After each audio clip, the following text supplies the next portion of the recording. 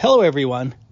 I was watching a fun YouTube video on the amazing stunts of Buster Keaton, and I saw something that I thought was hilarious.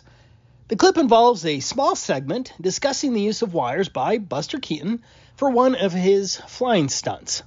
Watch the clip. Going frame by frame, you can see a wire lift the bottom of Keaton's jacket as he's running. And a second wire bulges at his bum when he flies. But the most amazing part of this stunt for me is the way he falls with his feet to the side at the end to avoid getting tangled in the wire. I find it fascinating that they have been using these amazing wire tricks for at least a hundred years, and it looked pretty good, even back then. But, to reiterate, you can see the wire lifting Keaton's jacket. You can see the bulging at his bum where the second wire is lifting him up.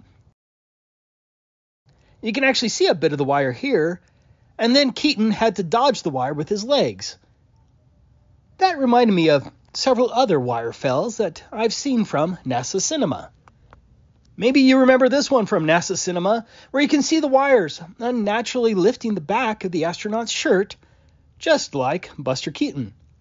And a second wire bulges at his bum when he flies. But Yeah, I'm sure that's just perfectly normal space bum bulging that just seems to match wires and harnesses. How about this one, where the astronaut on the right in the USMC shirt actually grabs the other astronaut's wire? When he grabs this invisible object, it pulls the astronaut's shirt in a very strange way. That really looks like Buster Keaton, doesn't it?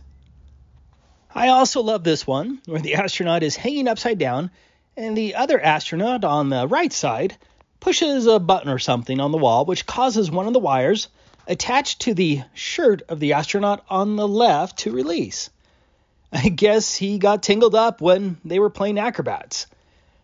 PBS actually removed this clip off of their website, and so I couldn't share the original where you can hear the mechanism, but I'm sure that's perfectly coincidental. The astronaut behind him even reaches up at the same spot to seemingly detach the shirt from the wire. Of course, you can't forget this one where it looks like the astronaut flying in the back is wearing some sort of harness. I guess that's just a an everyday astronaut harness that they like to attach to their butts for some made up science reason. This astronaut seems to twist funny like the wire is malfunctioning, and then she starts to fall before NASA cuts away. Buster Keaton comes to mind when watching that strange twisting.